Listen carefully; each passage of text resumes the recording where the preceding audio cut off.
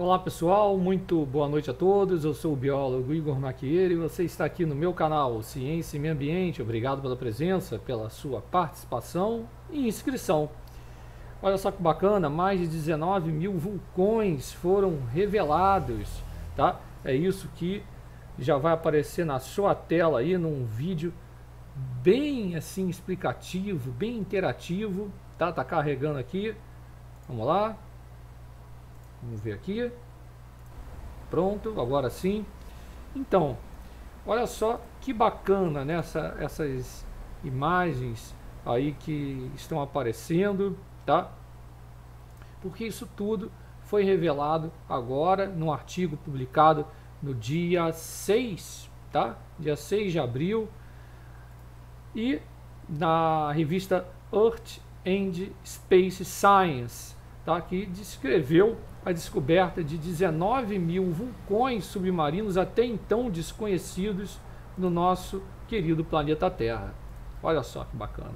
O trabalho foi desenvolvido por uma equipe de oceanógrafos do Instituto Scripps de, Oceano de Oceanografia, um dos maiores e mais antigos centros de pesquisa é, de ciência oceânica do mundo, né?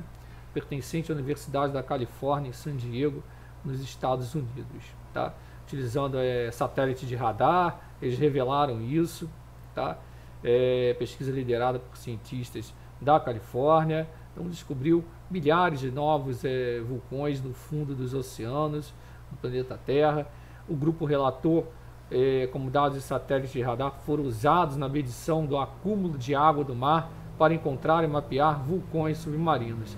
A equipe explicou que o fundo do oceano apresenta uma grande variedade topográfica é, e como acontece na, na terra seca, vamos dizer assim, as características que realmente se destacam são as montanhas, que no oceano são chamadas de montes submarinos, normalmente criados pelo movimento é, das placas tectônicas ou por erupções vulcânicas. Atualmente, apenas um quarto do fundo do mar foi mapeado, para vocês terem noção, o que significa que ninguém sabe quantos montes subaquáticos existem nem onde eles podem estar. Então, é, isso pode oferecer um risco para submarinos, né, que podem colidir com essas formações geológicas, etc. É, outro problema uh, em não saber né, uh, a exata localização né, é o, desconhecimento, né, impedindo que os oceanógrafos criem os modelos que retratem o fluxo de água dos oceanos. Tá? É, e não para por aí. Né? Os satélites de radar não conseguem, vamos dizer assim, enxergar, entre aspas, de fato, esses montes submarinos. Ao invés disso, eles medem a altitude da superfície do mar, que muda devido às alterações na atração gravitacional relacionada à topografia do fundo. Então foi dessa forma que eles conseguiram encontrar os milhares de novos montes submarinos anteriormente desconhecidos. O mapeamento do fundo do oceano pode ajudar e muito nos esforços de mineração marinha, já que vulcões submarinos abrigam gr grandes quantidades perdão, de minerais raros. Outra vantagem, se conhecer né, de forma mais detalhada a topografia, é que dessa forma os geólogos podem examinar também melhor as placas tectônicas e o campo geomagnético da Terra.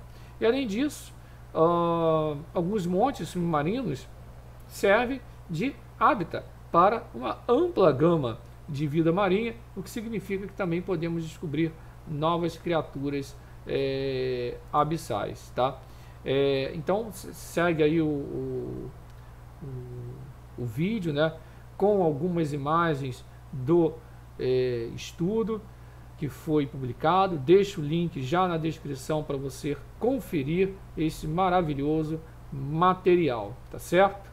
E se você gostou desse tipo de conteúdo, né, não deixe de se inscrever aqui no canal, ativar as notificações, compartilhar bastante esse vídeo, deixa aquele like bacana. Quem puder realizar sua colaboração, o link já está na descrição.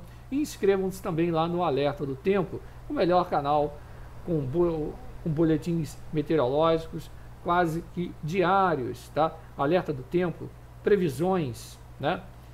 Com aquela qualidade, responsabilidade e veracidade que vocês só encontram aqui, tanto no Ciência e Meio Ambiente, como lá no Alerta do Tempo.